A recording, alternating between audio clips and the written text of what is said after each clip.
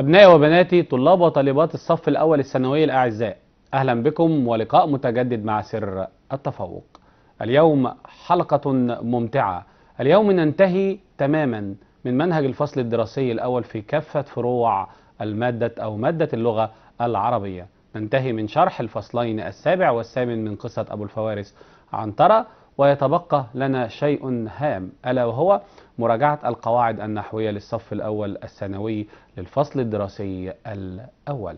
في الحلقة الماضية راجعنا منهج البلاغة وكانت حلقة رائعة وممتعة وسعدت بتجاوبكم ونسبة مشاهدة الحلقة على التلفاز أو على الإنترنت.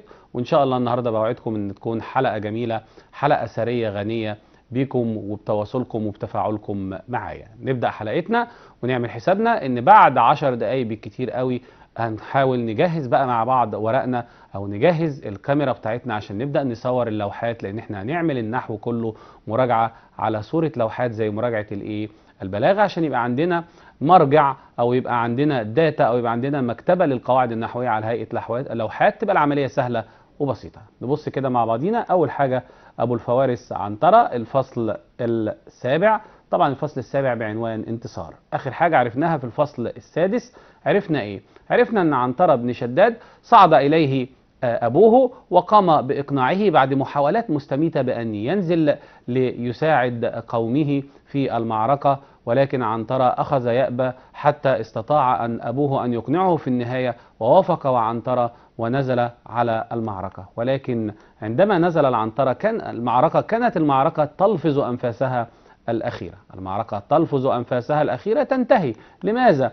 لأن العبسيين تراجعوا استسلموا وأحسوا بالإيه؟ باليأس. عنترة قبل أن يبدأ المعركة ذهب أولا للإطمئنان على عبلة فوجد بيتها مهدما وأساسه إيه؟ مبعثرا.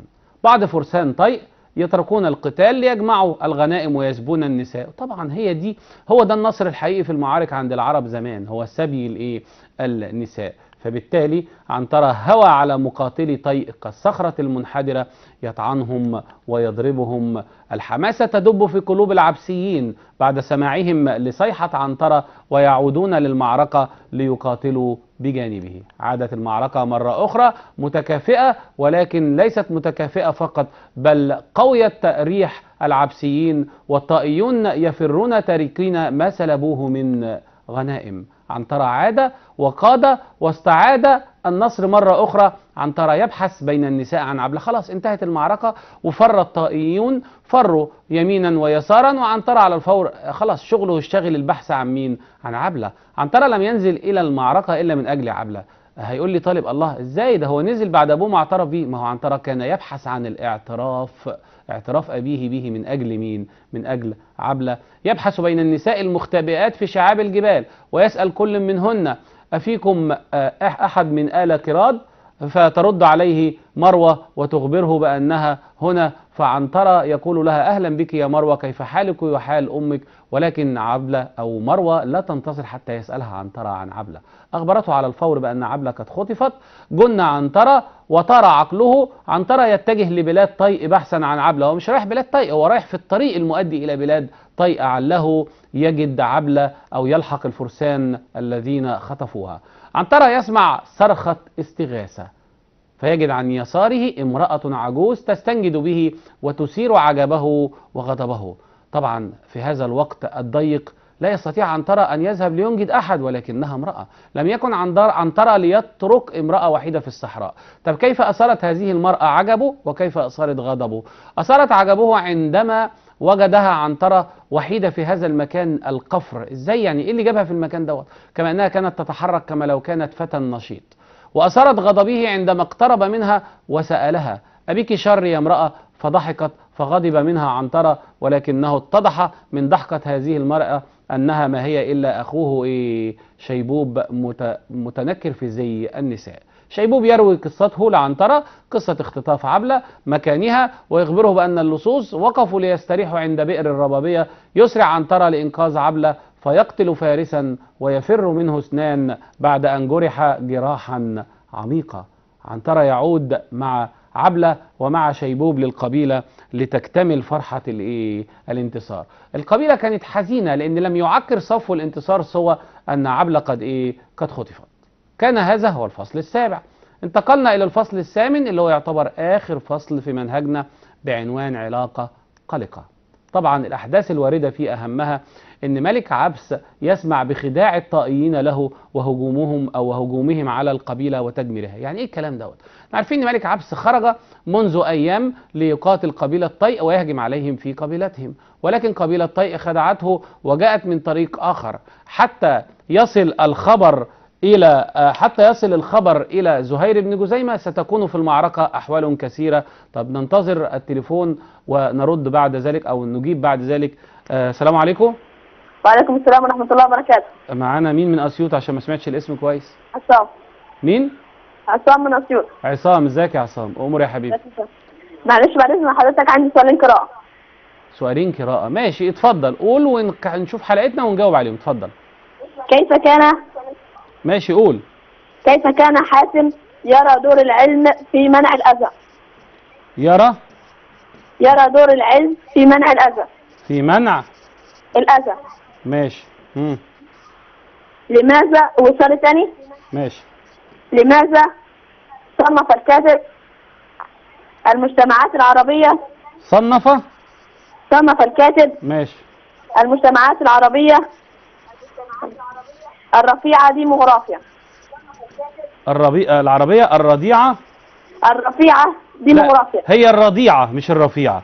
ديموغرافيا ديموغرافيا طيب آه بص يا عصام السؤال أيوة. الثاني ده اولا مش علينا في المنهج. السؤال الثاني تم حذفه من الإيه؟ من المنهج يعني ده هنعمل عليه كده. لماذا؟ لأن السؤال الثاني دوت اتلغى. هو كان بيتكلم على إن 43% من آه سكان الوطن العربي معظمهم من الايه؟ من الشباب. يعني عايز يقول إن الشباب عليهم دور كبير في الفترة اللي إيه؟ اللي جاية. فإحنا السؤال ده مش علينا. خلاص؟ ده على. الجزء ده كان موجود في المنهج من إيه؟ من فترة. تمام؟ طيب السؤال اللي فوق ده أنت جايبه من كتاب المدرسة؟ لا جايبه من مصدر خارجي. ما هو من مصدر خارجي. مصدر خارجي ده ايا كان. جه في امتحانات ولا ولا مجرد أيوه في امتحانات. امتحانات امتحانات. محافظات. ماشي. هو عموما بالنسبة لحاتم إحنا يعني لم يذكر حتة دور العلم لأن في الفترة دي ما كانش بيقولوا إن حاتم كان بيتعلم ولا كان بيذهب لمدرسة ولا جامعة. ولكن إحنا عارفين إن إن حاتم الحتة اللي ذكرت في حتة منع الأذى ديت إن هو كان عنترة أو كان بيتعامى أو كان بيتغاضى عن إن هو يسمع الأذى بتاعه أو يسمع شتمته أو سبه بنفسه ولكن كان لا يرد استبقاء لإيه؟ لودهم. يبقى كان يغفر زلات آه، أصحابه وأصدقائه وقومه اس- استبقاء لإيه؟ لودهم. يعني هو كان بيمنع أذاهم بإيه؟ بإن هو يغفر لهم أخطائهم ولا يعيرها أي انتباه. وكثيرا ما سقط أذنه كلمات فيها ايذاء له وكان لا يستمع إليه وكأنه لم يسمعها عشان خاطر إيه؟ ما يردش عليهم ويردوا عليه. فهو ممكن نقول إحنا الحتة ديت. نقول عليه إن هو كان إيه؟ يغفر زلات قومه استبقاء لإيه؟ لودهم طب معلش يا أستاذ ممكن تعملوا لنا حلقات مراجعة يوم ثلاث عربي عشان هنمتحن يوم الأربعاء عربي. طيب هو أنا عايز بس أقول لك على حاجة يا عصام. أنا أنا طبعا آه، مجبر بالخريطة بتاعة القناة ومواعيد القناة. أنا النهارده إن شاء الله أنا راجعت بلاغة في الحلقة الماضية. النهارده هراجع طيب. النحو كله إن شاء الله النهارده. وأعتقد دول كانوا أهم فرعين بإيه بي بي آه، بيهموا الإيه الطلبة. وبعد كده إن شاء الله في الحلقات الجاية هتبقى كلها مراجعة إن شاء الله. ساعة ما يجي الدور عليا. ناخد عربي تاني يا أستاذ. نعم؟ مش هنلحق ناخد عربي تاني. إحنا نمتحن يوم الأربعاء إن شاء الله. نمتحن عربي. طب إن شاء الله بإذن الله تتدبر وإن شاء الله تتحل العملية دي بإذن الله. تابعنا بس. على النهارده وتابعنا على على- صفحة البرنامج سر التفوق. آه، أولى ثانوي أي سؤال عندك اكتبه لي وإن شاء الله أنا هجاوب لك عليه بإذن الله. ماشي يا عصام. شكرا يا عصام لاتصالك وتابعنا لآخر الحلقة. طيب أهم الأحداث قلنا الواردة. اتكلمنا عن إن ملك عبس بيسمع بخداع الطائيين له وهجومهم على القبيلة وتدميرها. خلاص على ما الخبر ما يجي له هيبدأ يتحرك. طبعا الكلام ده هياخد مسيرة أيام يعني هتكون المعركة انتهت. فعلى الفور هنا إيه اللي حصل؟ نشوف كده مع بعض على الشاشة. فيعود بالجيش لعله يلقى الطائيين فينتقم منهم أو يقتل فيتخلص من عار الإيه؟ الهزيمة. ده اللي عمله ملك إيه؟ اللي عمله ملك عبس. طيب زهير لا يقابل العبسيين. هنا اتفاجئ ملك عبس اللي هو زهير بن جزيمة بأنه لا يجد العبسيين في طريقه فاعتقد أنهم خدعوه إيه؟ ثانية. اعتقد أن العبسيين عملوا إيه؟ خدعوه زي المرة الأولى. طب إيه اللي حصل؟ رايح القبيلة ومتوقع أن يجد فيها الحزن والانكسار ولكنه وجد فرحة النصر والانتصار ووجد آه، شداد يستقبله والقبيلة تحتفل بالنصر ويقول له شداد اعترافا بعنترة إن كان في حياتنا بقية فالفضل لعنترة ابن شداد. وكان ذلك بمثابة اعتراف صريح من شداد بابنه إيه؟ عنترة. الدنيا تغيرت. تغيرت الأحوال بعد اعتراف شداد بعنترة لم يعد عنترة شخصا آه، منبوذا ولم يعد عنترة عبدا بل أصبح حرا. وكالعادة في هذه المجتمعات الطبقية هذه المجتمعات التي يوجد بها تفرقة جنسية على أساس اللون والجنس والدين وغير ذلك حدثت تغيرات كثيرة. تغيرت الحياة آه، بدأ السادة يصافحون عنترة معترفين بفضله عليهم الذي ستظل القبيلة تذكره إلى آخر الإيه؟ العمر. بعد ذلك هتف الشباب باسم عنترة الجديد وتغنت الفتيات بشعره. خلاص أصبح اسمه عنترة ابن شداد بدلا من أن كان يقال له عبد شداد. آه، هذا تكريم أن يقال له عبد شداد ولكن كان سخرية وإهانة يقال له ابن إيه؟ ذبيبة. طيب تغير حياة عنترة ما زلنا مستمرين. لم يستطع مالك وابنه عمرو أن يمنع عنترة من التحدث مع ابنة عمه مين؟ عبلة. طب وعمارة اللي هو خطيب عبلة لا يستطيع الاعتراض عندما يشاهد عبلة مع ابن عمها. طيب بعد ذلك هتحصل تغيرات تانية. أخذ عامة الناس آه أخذ عامة الناس يقولون يقولون إيه بقى؟ هنقوله إن شاء الله بعد الفاصل. أبناء الأعزاء فاصل قصير ونعود إليكم. انتظرونا. عدنا لكم أبناء الأعزاء. كنا نتحدث عن ردود الأفعال وتغير الأحوال بعد اعتراف شداد بعنترة. ابنا له. أخذ عامة الناس يقولون يجب أن يترك عمار الفتاة لعنترة الذي أحبها وهتف باسمها في شعره وأنقذها من الأسر. ده ممكن يجي لك كسؤال. يقول لك ما رأي العامة بعد اعتراف شداد بعنترة أو ماذا قال العامة؟ هنقول له كده. أخذوا يقولون يجب أن يترك عمارة الفتاة لعنترة الذي أحبها وهتف باسمها في شعره إلى آخر الإيه الكلام. طيب نشوف بعد كده التغيرات في تغيرات كتيرة. كل يوم أو كل يوم تقام الاحتفالات تكريما لمين؟ لعنترة. حوار بين عنترة وعبلة في طريق العودة للبيت. خلاص أبيح لعنترة ما لم يباح له من قبل. عنترة آه، يقوم بتوصيل عبلة إلى بيتها في الطريق. طبعا لن يعترض أحد فهو يسير مع ابنة إيه عمه. في الطريق كان يصف لها مغازيه يحدثها عن شيبوب ونوادره ونوادر حياله فتضحك عبلة لذلك. كل الحوارات اللي كانت عن شيبوب حتى شيبوب لما صوروه في الأفلام في السينما المصرية لما عملت فيلم عنترة بن شداد كنا بنشوفه شخصية إيه؟ مرحة وكل حكاياته آه، تضحك من يسمعها. طيب آه عنترة بيسأل طب إحنا نسأل بقى نشوف آه، رويدة ولا هويدة من إسماعيلية؟ السلام عليكم. وعليكم السلام. رويدة ولا هويدة؟ رويدة رويدة. أهلا بيك يا رويدة بس رويدة رويدة علينا بقى. طيب آه، أموريني يا رويدة. آه يا مستر في سؤال بيقول لي ضع علامة صح أمام العبارة الصحيحة وعلامة خطأ أمام العبارة الخاطئة ماشي. حمل عنترة على نفسي على البقاء في الوادي قطرا تمام. هو كان مجبر إن هو يقعد علشان باباه يعترف بيه؟ أنت فاهمة السؤال أنت فاهمة السؤال. بصي أنا هفهمها لك ببسيط بطريقة بسيطة كده. عشان خاطر بطريقة نفهمها إحنا بسيطة. عارفة ال- الشخص اللي عامل رجيم آه. وقدامه حلويات. هو بيحب أيوة. الحلويات بس مش هيقدر ياكلها. ليه؟ عشان خاطر هتزود وزنه صح؟ بالظبط. عشق ال- العشق المواطن للحلويات هو بالظبط عشق عنترة لخوض المعارك. فحمل نفسه قسرا. لماذا؟ تشفيا من قومه الذين يزدرونه وينكرونه ولا يزيلون عنه ذل وعار. العبودية. طيب يعني معنى كده إن الإجابة دي صح. الإجابة صحيحة طبعا. طيب بيقول لي في سؤال تاني إن هو أجب. دار حوار بين شداد وعنترة وكان لكل منهما دوافعه. وضح ذلك. في أني جزء؟ في أني فصل؟ سؤال عام بشكل عام ولا في سؤال نزوله للمعركة؟ نزوله للمعركة. أنا مدير المعركة دلوقتي عنترة كان دوافعه ماشي. ال- إن هو يعترف بشداد ببنوته بص لا بص كل واحد ليه دوافعه يعني إيه؟ يعني هنا في في المبررات هنا.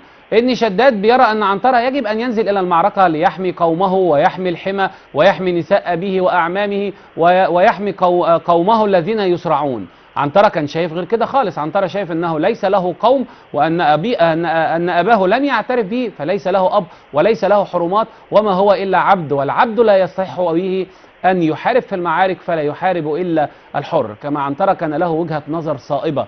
إيه هي بقى؟ وجهة مقنعة قوي.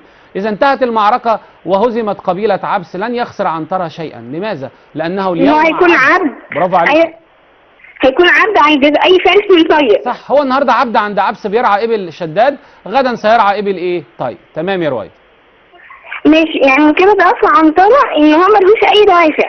ما فيش أي مبرر لنزوله للمعركة لأنه عبد والعبد لا إيه لا يح... لا, ي... لا يشترك في الحروب. الحروب للأحرار فقط. نفس السؤال يا مستر بيقول لي حوار شداد ماشي. ايهما كان أقوى حجة.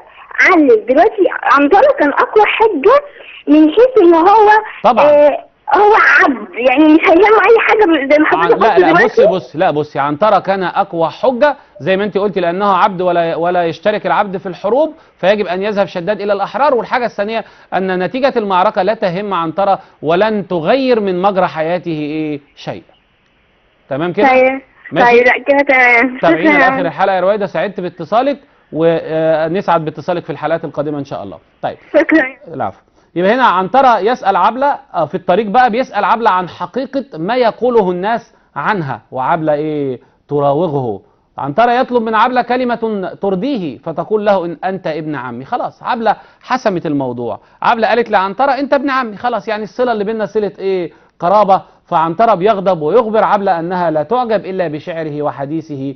فأين هو من الفتى الوسيم عمارة بن زيد. يعني بيخبرها أن هو مدرك الحقيقة وعارف أن هو عندما ينظر إلى صفحة الماء لا يرى إلا سواد وجهه. أما عمارة فهو الفتى الوسيم الفتى الكريم الوهاب. عنترة بيتهم عبلة ويهينها. اتهمها بأن عمارة خطبها وهي راضية. لماذا؟ بص دوافعه بقى. وشايف إن هي راضية بالخطوبة. لأن أباها أقام له وليمة. أبو ماله دي ما تخصش عبلة. الجزء اللي جاي دوت كأنه ملك وكانت تخدمه وتحث الإماء على خدمته. يعني عبلة كانت موافقة بتطلب من الإماء إن هم يبالغون في إكرام مين؟ عمارة. ده من وجهة نظر عنترة يا جماعة عشان ما حدش يسبق الأحداث ويقول كده إن عبلة راضية بخطبة إيه؟ عمارة ويحرق لنفسه على نفسه القصة ويقول إن مثلا إيه؟ إن عنترة في آخر القصة لن يتزوج إيه؟ عبلة. عندما أخبرته بأنها لا تملك الرفض ماذا حدث؟ أو القبول؟ قال لها إنك ستذهبين لبيت عمارة كما تذهب الأمة لبيت سيدها. لأن قالت له ما أنا إلا فتاة في بيت أبيها. هو ده على فكرة البنات المؤدبة كده. الفتيات المهذبات لا تتحدث في هذه الشؤون. سألها خطبها خطبك من أبوك ويقولون أنك راضية قالت ما أنا إلا فتاة في بيت إيه أبيها. يعني أنا مش هتكلم وأبويا إيه موجود. هذا لا يدل على رضا عبلة إطلاقا لأن الزمن دوت غير الزمن اللي إحنا فيه إيه دلوقتي. فقال لها ستذهبين كما تذهب الأمة لبيت سيدها. يعني أنت رايحة خادمة. راح تخدميه مش راح تتزوجيه. وهنا بقى صارت إيه؟ عبلة ووضعت يدها على كل جروح عنترة وقالت له يعني وهي ترد الإهانة كف لسانك يا عنترة إنما الأمة إيه؟ غيري. قال عنترة في غيظ نعم الأمة غيرك يا عبلة إنها زبيب أمي وأنا العبد ابن زبيب الذي يسلي وقت فراغك. وهدد عبلة إذا زوجك ابن زياد الذي ترضينه ويرضاه أبوك. فاعلمي يا عبلة أن ابن زياد لن يقترب منك فأنت لي أنا أنا الذي أحببتك ولا أستطيع أن أحيا بدونك. فاذكري يا عبلة قولي سوف أبعث ليلة زفافك لك آه، برأس هذا الفتى الوسيم سأبعث لك بهدية ستظل العرب تتحدث عنها طول العمر. وهنا وقف عنترة يحاول أن يغ... أن أن يطلب من عبلة أن تغفر له أخطأ ولكن خلاص عايز يستغفر عايز يطلب منها أنها تسامحه ولكن عبط... عبلة اتجهت إلى إيه؟ خيمتها نافرة باكية واتجه عنترة عائدا للصحراء لا يدري أين إيه؟ يذهب. وهنا أغلق على عنت... على عنترة الباب وكتب عليه إلى اللقاء في الجزء الثاني في الفصل الدراسي الثاني بإذن الله. إيه تعالى. وده كان آخر جزء من منهج الفصل الدراسي الثاني ومش عايز أضيع وقت كتير. عايز أدخل على طول على مراجعة القواعد الإيه؟ النحوية. بس قبل ما أراجع آه، مراجعة القواعد النحوية عايز أقول كلمة بسيطة لأبنائي. بس بعد ما أرد على عبد الرحمن من أسيوط. السلام عليكم عبد الرحمن. وعليكم السلام. هو أسيوط النهارده الاتصالات كلها جاية منها ما شاء الله. اتفضل يا عبد الرحمن.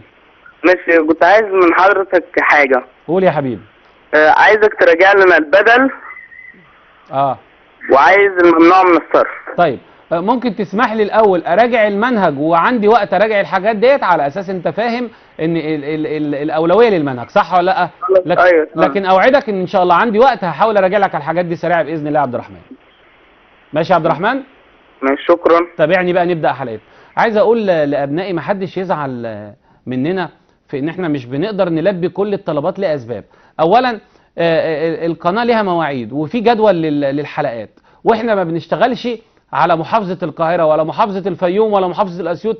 البرنامج موجه لكل محافظات مصر وبالتالي لازم إن إحنا ما نقدرش إن إحنا نقول بكرة في جدول المنوفية هنعمل حلقة بكرة في جدول الفيوم هنعمل حلقة. ما ينفعش. في جدول للبرنامج. ولكن أنت تلاحظ إن أنا في كل حلقة بعد كل حاجة بشرحها بعمل تدريب.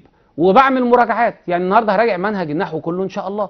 يبقى هنحاول بقدر الإمكان نلتزم بمواعيد حلقاتنا واللي ظروفه هتخدمه في إن حلقة المراجعة هتكون قبل قبل الامتحان بتاعه يبقى حظه كده وإحنا مش هنتدخل في أي إيه حاجة. طيب أول حاجة بقى عندي في المراجعة كده نبص إحنا المفروض إن عندنا كلهم خمس دروس. الدرس الأول الأفعال الناقصة والأفعال التامة. طب الأفعال الناقصة أنا عايز أحفظهم بطريقة سهلة. هقول لك الأفعال الناقصة هي كان أصبح. طبعا الإيقاع هيبقى سريع شوية لأن أنا براجع مش بشرح من الأول. وبعدين أضحى ظل وصار امسى وبات. طب ليه أنا جبت السبعة دولت في اتجاه لوحده وتحت سهم لوحده؟ هقول عشان الأفعال دي بيعمل منها الماضي والمضارع والأمر. يعني ممكن ألاقي كان يكون كن سواء جه الماضي جه المضارع جه الأمر شغال معايا. طيب ودوت إيه بقى؟ ده ليس وما دام دي أفعال جامدة يعني لا يعمل منها سوى الصيغة اللي أنت شايفها. مش هتلاقي ليس دي بصيغة أخرى. مش هتلاقي ما دام بصيغة إيه؟ أخرى. ولو جت غير كده يبقى في الحالة دي ليست من الأفعال التي نحن نتحدث إيه؟ عنها. بعد كده هلاقي عندي ما زال ما فتئ ما برح ما انفك أفعال الاستمرار وكلهم بمعنى ما زال ودول بيعمل منهم الماضي والمضارع. طب الأفعال دي إيه؟ الأفعال دي أفعال ناقصة ناسخة تدخل على الجملة الاسمية تعمل إيه؟ ترفع المبتدأ ويسمى اسمها. طب تعمل إيه في الخبر؟ بتنصب الخبر ويسمى إيه؟ خبرها. خلاص إحنا عرفناها. يبقى دي أفعال ناقصة ناسخة سميت ناقصة لأنها تحتاج إلى خبر وناسخة لأنها تنسخ الجملة الإيه؟ الاسمية. طب نشوف الجزء المتبقي كده مع مصطفى من إيه؟ من هنا السلام عليكم يا مصطفى. عليكم السلام. إزيك يا مستر؟ إزيك يا حبيبي؟ عامل إيه؟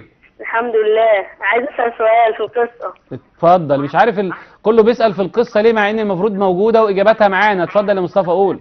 دلل على صحة العبارة. ماشي. آه، كانت التقاليد العربية سببا في مأساة عنتره طبعا. دي سهلة. وأنت اللي هتجاوبها يا مصطفى قبل ما تشتغل معايا في الحلقة. هنا التقاليد العربية خلت إن عنترة يبقى إيه؟ في نظر الناس.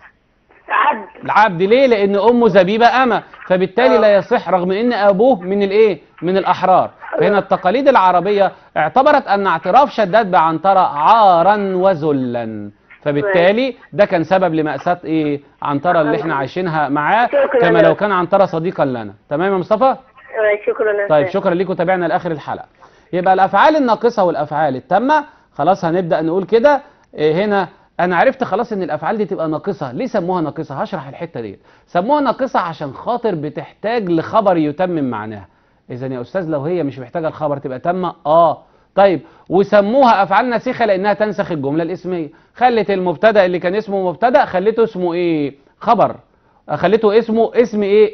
اسم عفوا. اسم كان. وخلت الخبر اللي كان اسمه خبر المبتدأ بقى اسمه خبر إيه؟ كان. وبدل ما الخبر كان مرفوع بقى منصوب نشوف مع بعض كده على شاشتنا الجميلة ولوحاتنا الملونة نشوف الأمثلة دي عشان نفرق بين كان التامة وكان الناقصة. بصوا لما أقول في المثال ده صار الطالب يذاكر فكان النجاح. الفعل هنا إيه؟ صار. مين اللي صار؟ الطالب. صار الطالب إيه؟ يذاكر. آه في خبر هنا. يبقى صار دي على الفور هتبقى فعل إيه يا شباب؟ فعل ناقص. ليه ناقص؟ لأنها ما تمش معناها من غير الخبر. فكان النجاح. مين اللي كان النجاح؟ يعني تم حدث وقع يبقى كان هتبقى إيه؟ تم. عرفت إزاي بفرق بين الفعل الناقص والتم؟ ببساطة. صار ليه ناقصة؟ عشان ليها خبر اللي هو يذاكر. طب فين مرفوعها؟ مرفوعها الطالب وهيتعرب إيه؟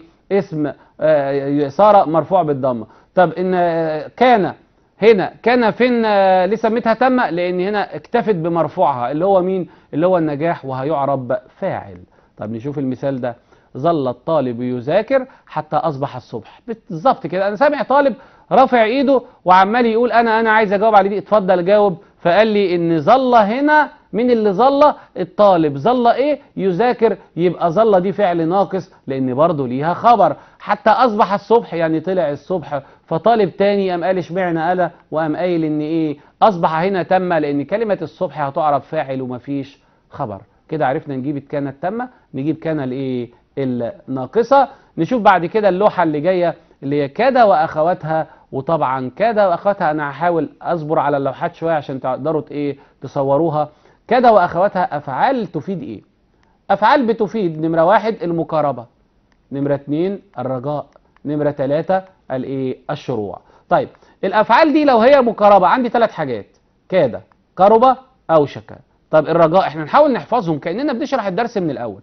أفعال الرجاء عسى حرى اخلولقه طب أفعال الشروع هتبقى إيه؟ أفعال الشروع بسيطة هتبقى بدأ واخذ وح- وعينك هنا على الفعل بدأ. لأن كل اللي جاي بمعنى بدأ.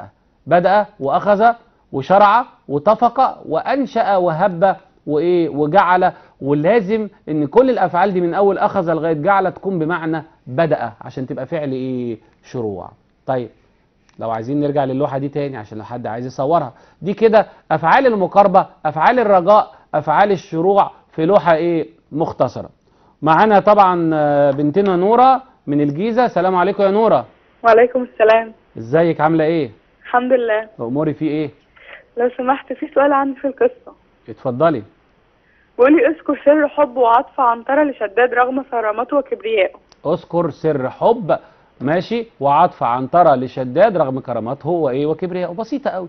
في الفصل الثاني بالظبط إحنا قلنا إن سوره عنترة كانت سوره شداد عند عنترة سوره السيد والبطل والمعبود. وكان كلما ضربه بالصوت كان كأنه يقول له اضربني فلن تستطيع أن تنزع من قلبي حبك. عارفة ليه الكلام دوت؟ عشان أمه وهو صغير قالت له إيه؟ قالت له إن أبوك عنترة. قالت له إن أبوك عنترة؟ قالت له عنترة. شداد. أبوك شداد. هو السر في أن أخبرته إيه؟ أمه وهو صغير أنه ابن شداد. عندما عايره الأطفال وقالوا له يا ابن إيه؟ زبيبة وذهب إليها يبكي. الموضوع بسيط على فكرة يا جماعة في القصة بس أنتوا سيبوا نفسكم كده وانتوا بتقروا الأحداث. اقروا على فكرة الأحداث. معظم آه، أبنائنا ما بيقروش أحداث القصة بيلاقوها طويلة فبيكسلوا. لا اقري الأحداث كلها. ماشي يا نورة؟ ماشي ممكن سؤال تاني؟ اتفضلي يا نوره بيقولي علل جاءت كلمة العش معرفة وكلمة وقر نكرة. كلمة العش معرفة وكلمة وقر نكرة. ماشي. آه. هو إحنا ممكن نقول العش هقول لك ليه رغم رغم ان ده سؤال سؤال مش موجود يعني عندنا في الكتب ولا حاجة. ولكن هنا كلمة العش معرفة لأنها إيه؟ عايزة تقول هنا إن إن العش هو البنت ليها ليها 500 أب؟ لا. المقصود بالعش هنا بيت الإيه؟ الأب. الأب صح ولا لأ؟ لتدل على إن إيه؟ على إنها تدل على بيت الأب فبيت الأب واحد.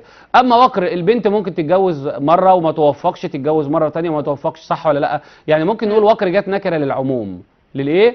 للعموم. اللي هو طبعا أي زوج هتتزوجه فيما إيه؟ فيما بعد. ورغم ذلك عايز أقول لك ده مش سؤال مش موضع امتحان. موضع الامتحان هنا لماذا عبرت الأمامة عن بيت الأب بالعش وبيت الزوج بالوقر هقول له لتدل على أن حياتها في بيت أبيها حياة مؤقتة. تمام يا نورة؟ تمام ماشي. تابعينا لآخر الحلقة. نرجع للوحتنا قلنا دلوقتي كاد وأخواتها دي أفعال تفيد واعرضنا مقاربه رجاء شروع. نشوف اللوحة اللي بعد كده في كاد وأخواتها وهي إن الأفعال دي بقى بتعمل عمل كان وإيه وأخواتها. إزاي؟ يعني بترفع المبتدأ وتنصب الخبر. الله طب ليه ما قلناهاش إنها من أخوات كان؟ هقول لك عشان في شروط. الشرط الأول أن يكون خبرها جملة فعلية فعلها مضارع. طب إدينا مثال أهو. بدأ الطالب يذاكر. استحالة تقدر تقول بدأ الطالب مذاكرا. صعب. لكن أنا لو قلت كان كان الطالب يذاكر. ما زال الطالب يذا- يذاكر. وممكن أقول كان الطالب مذاكرا. تمشي الجملة ما فيش مشكلة. لكن هنا بدأ الطالب يذاكر وما تنفعش غير يذاكر اللي هو جملة إيه؟ فعلية. مع كان ممكن أقول كان الطالب مذاكرته جيدة. يبقى أنا جبت جملة اسمية. كان الطالب في البيت جبته شبه جملة. لكن هنا لازم الخبر يكون جملة فعلية فعلها مضارع. عشان كده خدت كاد وأخواتها لوحدها وقلت بتعمل عمل كان واخواتها بشروط. في شرط تاني آه إن كل أفعال المقاربه والرجاء والشروع لا يعمل منها إلا الماضي. يعني نعتبرها أفعال جامدة إلا فعلين كاد وأوشك يعمل منهم الماضي والمضارع. طب نشوف كده بيان عملي وتجربة. آه، يوشك الورد أن يتفتح. جملة شغالة وسليمة نحويا ولغويا ما فيهاش أي مشكلة.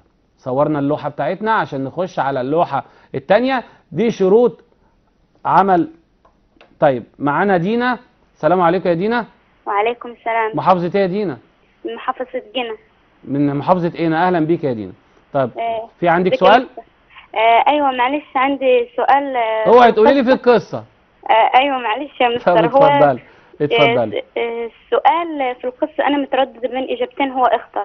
قولي. آه، هي فهل أنا إلا فتاة في بيت أبيها؟ تمام. هذا التعبير يدل على. واحد توليت عبلة أمر نفسها ولا سلب عبلة إرادتها ولا مكانة عبلة في بيتها؟ ما كانت عبلة في بيتها؟ ده بتقول له ما أنا إلا فتاة في بيت أبيها. أنت طب قولي لي بس إجابتك عشان خاطر أنت من لغتك يبان إن أنت شاطرة لأني قلتي اختر. يعني معناها إن أنت فاهمة نحو صح. ها. آه، أنا يا أستاذ آه، أنا سألت الأستاذ أنا وقلت له سلب عبلة إرادتها. هو هو قال لي مكانة. فأنا م- مقتنعة بإن هي سلب. يعني عايز أسألك سؤال. هو اللي ملهاش رأي في البيت يبقى دي مكانة؟ آه، مكانة؟ آه، أيوه. يعني هو إحنا أصلا أصلا في في في الشرع إن إن الفتاة يؤخذ برأيها فهو يبقى دي مكانة ولا سلب إرادة؟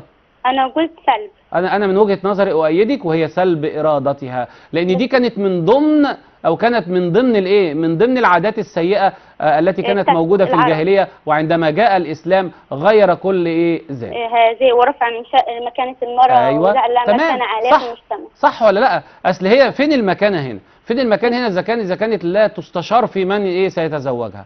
يبقى انت اجابتك طبعا إجابتك قلت له صحيحه كده فهو قال لي مكانة فأنا استغربت يعني لا لا لا خلاص. انت اجابتك صحيحة بغض النظر كل أي حد جاوب السؤال ده له كل الاحترام والتقدير لا نقلل من شأن أحد ولكن هي وجهات نظر فأنا أؤيدك في إيه؟ في في اللي انت قلتيه متفق معك يعني. في حاجة. تانية؟ معلش يا أستاذ هو في سؤال في الأدب أنا دورت عليه والله ما لقيته طب اتفضلي قولي عشان. ممكن يكون ملغي خلي بالك. مش عارفة لأن هو زي في بصي القديمة. بصي أنتوا بتحلوا من كتب في أسئلة زي السؤال اللي جه من شوية على تكنولوجيا المعلومات. في أجزاء كتيرة بتتلغي. لازم ال- المدرس والطالب يعمل لنفسه تحديث. يعني بلغتكم كده الأجنبية بتقولوا ابديت يعمل تحديث لنفسه كل مرة ويحدث الكتب بتاعته عشان يعرف إيه اللي اتلغى وإيه اللي ما اتلغاش اتفضلي. حديثة والله هو علل المعلقات تمثل منهج القصيدة الجاهلية. لا ده سؤال بسيط. انت مش هتلاقيه عشان ده سؤال إجابته من وسط من بين السطور. هو منهج القصيدة الجاهلية إيه؟ اللي هو طبعا البدء بالإيه؟ بالغزل والبكاء على الأطلال. الوصف الغرض الأساسي الختام ببعض الحكم. تمام كده؟ أيوة يا أستاذ أنا طيب، حافظاها. زي بس حلو قوي. بيتكلم هي- عن المعلقات. ماشي ما هو ما خليكي معايا. الكلام ده هيظهر إمتى؟ مش عايز قصيدة طويلة؟ أيوة. صح. يبقى هنا لأنها قصائد إيه؟ طوال من الشعر الإيه الجاهلي كبراء الشعراء في العصر الجاهلي تمام. وقد التزم فيها الشعراء بمنهج القصيدة الجاهلية من حيث البدء بالغزل والبكاء على الإيه اطلال والوصف وتقوم قايلة الإيه المنهج. هو في شاعر واحد اللي خالفهم بس مش عليك السنة دي. الكلام ده هتعرفيه في ثانية ثانوي. هو الشاعر الوحيد الذي خلف شعراء المعلقات. عشان اللي- بدأ بالحكمة في لا لا لا لا لا, لا. اللي هو عمرو بن كلثوم بدأ بوصف الخمر. دوت. هتدرسيه في الصف الثاني الايه؟ الثانوي. لكن انت لو قلت زي ما قلت لك كده إجابة صحيحة ولا غبار. خدي بالك أسئلة الأدب اكتبي فيها ما تسيبيش حاجة. المدرس بيستشعر منك طرف خيط كده في في الإجابة فعلى طول يديك الدرجة بإذن الله. ماشي؟ شكرا ليكي. وتابعيني لآخر. الإيه؟ الحلقة. يا أستاذ معلش ممكن تفرج لي بين الاستعاره المكنية والاستعاره التصريحيه عشان أنا بتلخبط طيب. بينهم معلش. هقول لك على حاجة. هقول لك حاجة سريعة كده عشان خاطر أنا شرحت الكلام ده في الحلقة اللي فاتت بس أنا يعز عليا. تتصلي وما أقولكيش. دلوقتي أنا لما بقول معلش. آه، باجي بتكلم بقول مثلا إيه رأيت اسدا أو أقول أس... آه، الجندي الجندي يزأر الجندي إيه. يزأر هنا فين المشبه؟ آه، الجندي. اديله علامة صح. طب وفين المشبه به مش قاعد يبقى يبقى صح غلط. يبقى دي صح إيه؟ استعاره مكنيه عشان عشان العلاقة هنا صح غلط. يعني إيه صح؟ يعني المشبه موجود وغلط يعني المشبه به مش إيه؟ مش موجود. ما أستاذ أنا عارفاها العلاقة دي بس لما أجي أطبق عملي ما بعرفش أطبق. طب تعالي مش إحنا لما بنقول يا مصر قد قد سهرت عليك أسود مين الأسود دول؟ آه، مقصود بالمصريين يعني؟ الجنود صح. يبقى فين الجنود هنا موجودين؟ لا. يبقى غلط صح. تبقى على طول دي استعارة إيه تصريحية. هقول لك حاجة تانية. الاستعارة المكنية عبارة عن كلمتين. المشبه وصفة من صفات المشبه به. الجندي ده المشبه ويظهر صفة من صفات المشبه به. والاستعارة التصريحية هي عبارة عن المشبه به فقط. المشبه به إيه؟ فقط, فقط. خلاص فهمنا الحتة ديت؟ نعم. زي ما قلت قبل كده ما بقول سمعت كروانا يغني على المسرح. هو في كروان الطائر هيجي يغني على المسرح ولا الكروان. ده هو المطرب؟ المطرب يبقى دي استعارة إيه؟ تصريحية لأني صورت المطرب اللي مش موجود بالإيه؟ بالكروان. آه شكرا ليكي وتابعيني لآخر الحلقة. طيب. نكمل مع بعضينا. إحنا نوصل للوحاتنا تاني ونرجع لها. معلش اتصالات كتيرة بس أنا عاذر أبنائنا لأن هم طبعا في فترة امتحانات وبالتالي عندهم استفسارات كتيرة وإحنا طبعا هنستوعبهم بسعة صدرنا إن شاء الله. طيب عرفنا الشروط بتاعة العمل وصورناها. نخش على لوحة جديدة. بتقول إيه اللوحة ديت؟ بتقول حكم اقتران خبرها بأن. لوحات سريعة بقى عشان نجري شوية في المنهج. أول حاجة آه إن كاد وقرب هيبقى حكم اقترانها إيه؟ يقل. طب كاد الأولاد يصلوا أو يصلون أو أن يصلوا؟ طب هنا أنا عملت إيه؟ يعني إيه يقل؟ يعني ينفع تيجي وينفع ما تجيش بس الأفضل ما تجيش. عشان كده قلت كاد الأولاد يصلون لكن لو قلت أن يصلوا إجابة صحيحة. طيب أوشك وعسى يكسر يعني يفضل تيجي بس ممكن ما تجيش. عسى الطلاب أن ينجحوا وممكن أقول ينجحون. لاحظ أنت إن أنا لما بحط أن الفعل بينصب بحذف النون. لما بشيل أن بيرفع بثبوت الإيه؟ النون. صورنا اللوحة ديت نخش على لوحة إيه؟ جديد- جديدة بعنوان حكم اقتران خبرها بإيه؟ بأن. طيب. حرى وخلولقه يجب. آه خد بالك من دي قوي كتير قوي بتيجي في الامتحان. يقول لك صوب الخطأ. حرى الأولاد يلعبون أو حرى الأولاد يذاكرون. هي أصلها حرى الأولاد أن يذاكروا. خلاص أهي. ما أقدرش إن أنا أشيل أن وأقول يذاكرون لأن هتبقى إجابة خطأ. وبالتالي زي ما في يجب في يمتنع. في أفعال الشروع كلها بدأ المعلم يشرح. لو قال بدأ المعلم أن يشرح تبقى إجابة إيه؟ خاطئة. صور لوحتك وركز معانا في اللوحة اللي إيه؟ اللي جاية. اللوحة اللي جاية بقى عن أسماء آه، عن المشتقات. هنبدأ ناخد إزاي نصوغ المشتقات وبعدين ناخد شروط العمل مجملة وبعدين ناخد معمول كل مشتق ونبدأ ندي أمثلة. هنا آه، المشتق الأول اللي هو اسم الفاعل الثلاثي منه بيجي على وزن فاعل زي كاتب طائر آخذ داع يبقى أنا بدور في الامتحان على كلمة على وزن فاعل زي ديت. أو ما لقيتش بدور على كلمة من غير الثلاثي أولها ميم مضمومة زي مقاتل مكسور ما قبل الآخر زي منتصر وزي مستفيد. ده اسم الإيه؟ الفاعل لأنه ما بيطلب مني في الامتحانات اسم فاعل عامل. السؤال شقين استخراج اسم الفاعل أصلا ده اللي واخدينه في ثالثه إعدادي وشروط العمل اللي واخدينها الإيه؟ السنة دي. بعد كده صيغ الإيه؟ المبالغة ودي ليها خمس أوزان. هات صيغة مبالغة سواء عاملة أو غير عاملة. أدور على كلمة على وزن فعول فعيل فعال. طب الكلمة اللي على وزن فعول هتبقى إيه؟ هتبقى زي عطوف شكور صدوق. طب اللي على وزن فعيل هتبقى إيه؟ هتبقى زي رحيم سميع حفيظ. طب اللي على وزن فعال هتبقى عندي زي غفار تواب جذاب.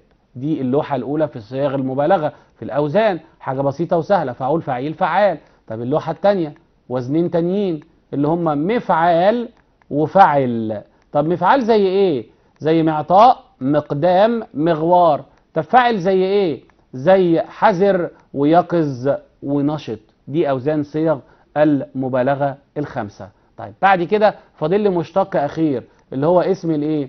المفعول. واسم المفعول من الثلاثي على وزن مفعول زي معروف محفوظ مكتوب معلوم ولكن عليك أن تلاحظ أن اسم المفعول يصاغ من الفعل المبني للمجهول. يعني لو قال لي هات اسم الم... هات الفعل بتاع معروف هقول له عرف محفوظ هقول له حفظ وهكذا. طب لو غير ثلاثي هيبقى أوله ميم مضمومة مفتوح ما قبل الآخر زي مستطاع من استطيع ومقدر من قدر ومستفاد من استفيد ومثقف من ثقف طيب نرجع للوحة دي معلش عشان اللي ما صورهاش.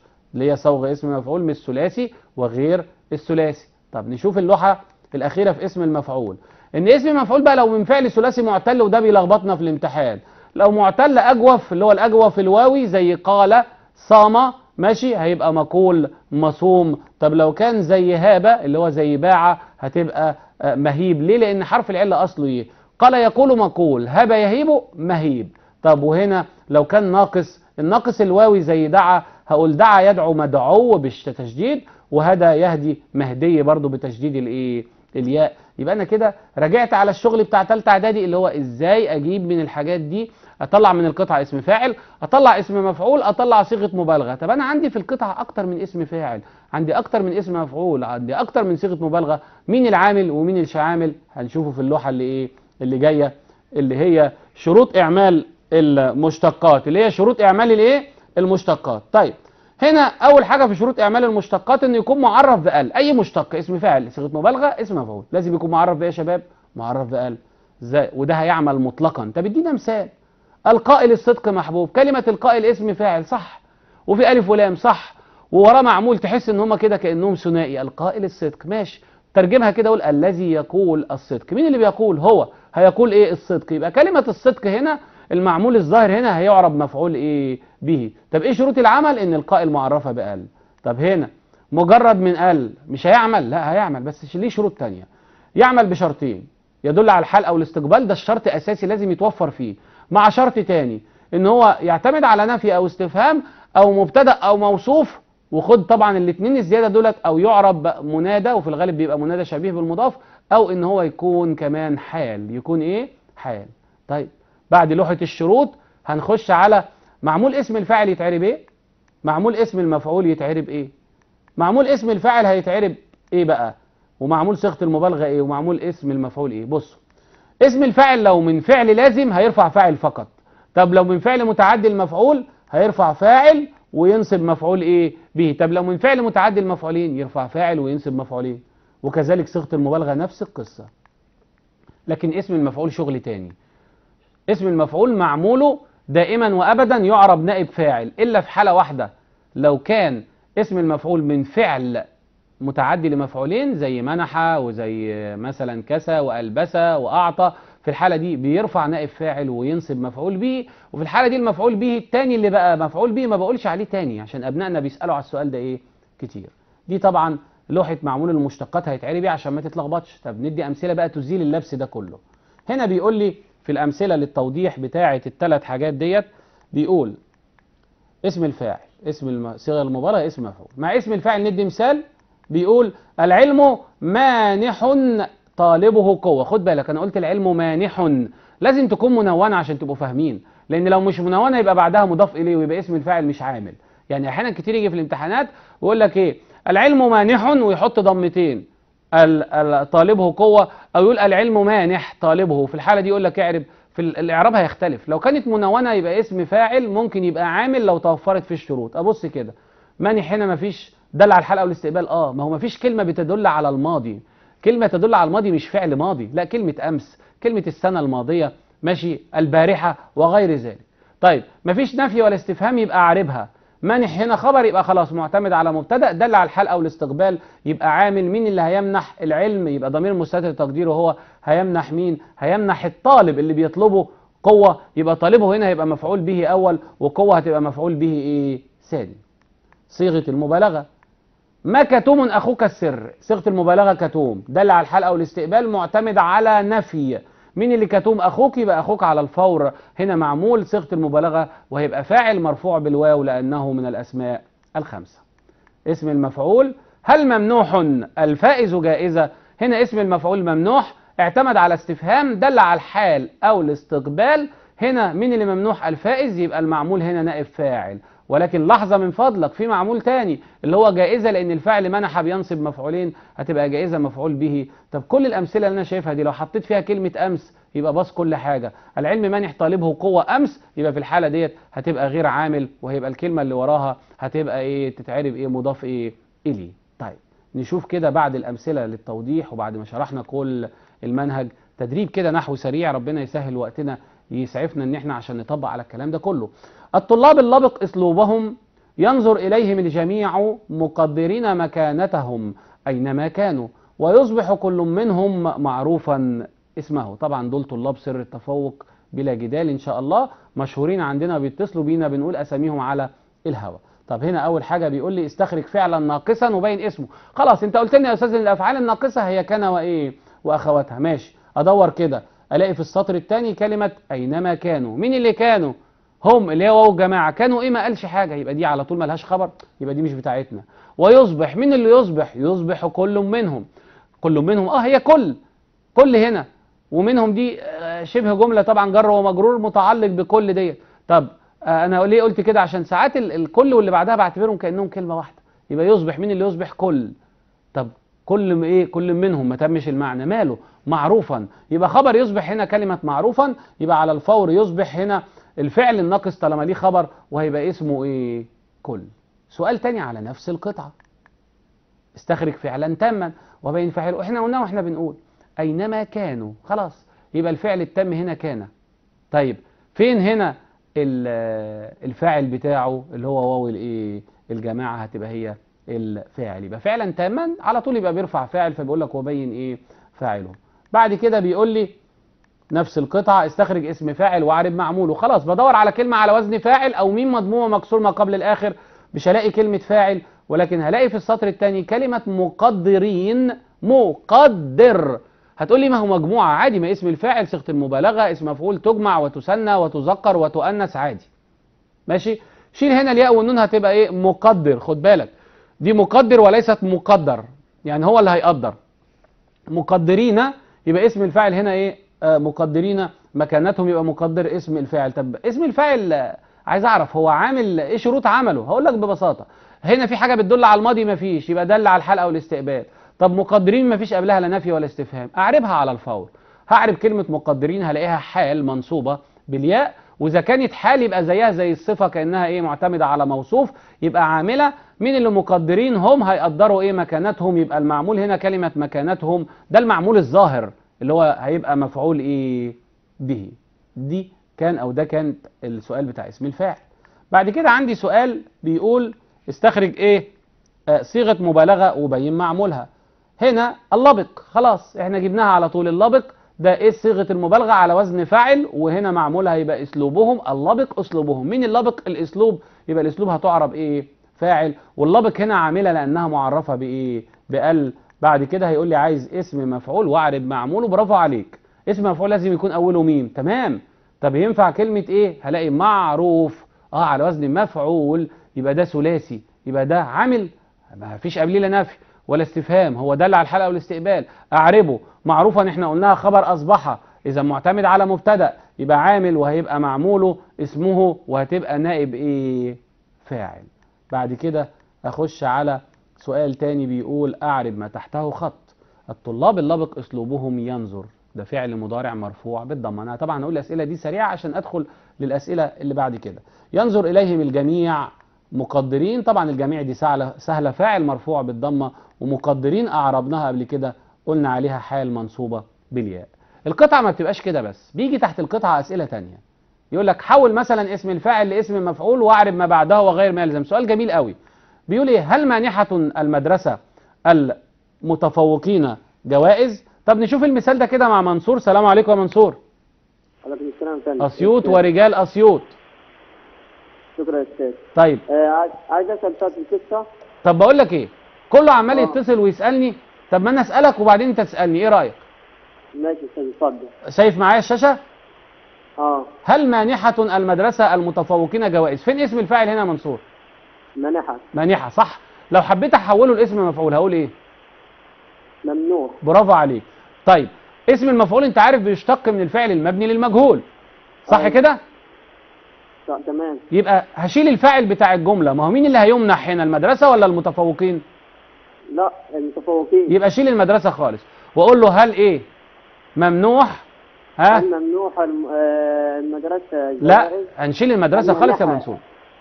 هل منحة هل ممنوع؟ المتفوقين الجوائز؟ طب ثواني بقى يا منصور. معمول اسم مفعول أنا قلت من شوية بيعرب نائب إيه؟ لا يساعد يبقى مرفوع. يبقى أقول له هل ممنوح؟ بص كده الإجابة. هل ممنوح المتفوقون إيه؟ جوائز. تمام؟ جوائز. تمام. اسأل سؤالك بقى يا سيدي.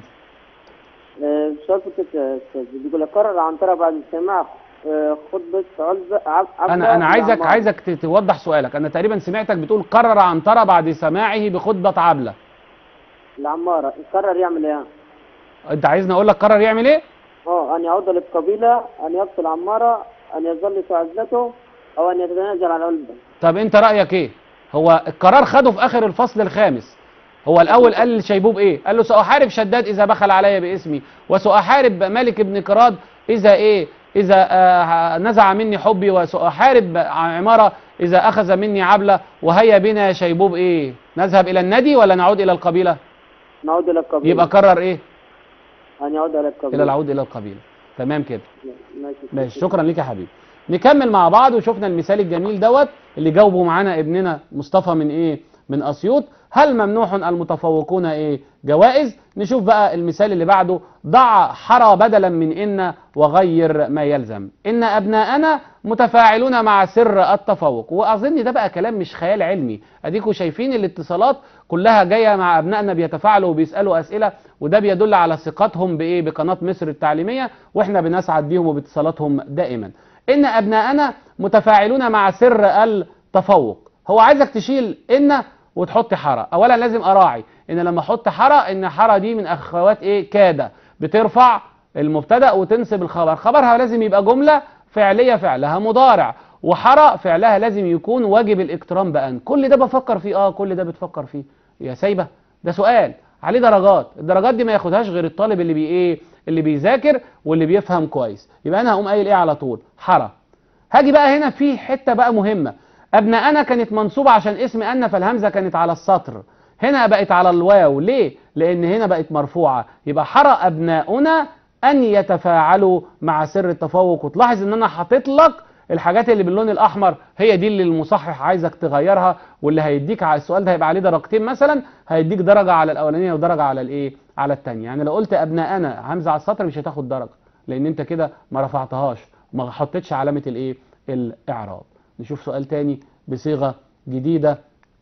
ضع فعل شروع بدلا من اخلولقه وغير ما إيه؟ ما يلزم. اخلولقه الأولاد أن يتفوقوا. اخلولقه إيه؟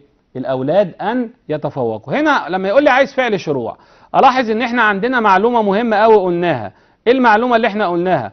قلنا إن فعل الشروع لابد أن يمتنع اقتران خبره بإيه؟ بأن. يبقى على الفور هقول إيه؟ بدأ الأولاد إيه؟ يتفوقون. طيب نجري كده في أسئلة سريعة عشان خلاص حلقتنا وقتها انتهى. يعني الحمد لله إن إحنا أنجزنا كل الكلام ده. عبر عن المعنى التالي بجملة تبدأ بفعل مقاربة وغير ما يلزم. اقتراب المصريين من تعزيز انتمائهم لوطنهم. خد بالك السر هنا في الهمزة برضو. اقتراب يبقى أقول له كاد.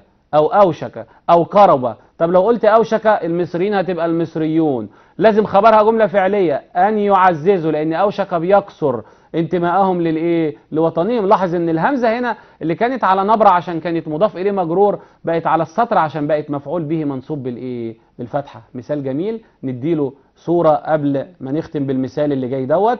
من فكت خيوط الثوب عايزين نعرف ده فعل تام ولا فعل ناقص. هلاقي من فكت هنا فعل تام لأن ما جبتش خبر وخيوط هنا فاعل ومن فكت خيوط الثوب متينة هلاقي من فكت هنا فعل ناقص وخيوط هتبقى اسم إيه؟ انفكت وهنا الحلقة بتاعتنا خلاص ستنفك وسنرحل. فقبل أن أرحل أشكركم أبنائي الأعزاء على حسن استماعكم وأشكر زملائي العاملين بقناة مصر التعليمية على جهدهم الوفير. وأدعو الله عز وجل أن يحفظ بلدنا مصر من كل سوء ومن كل داء وأن يكون النجاح حليفكم دوما أيها الأبناء. والسلام عليكم ورحمة الله وبركاته.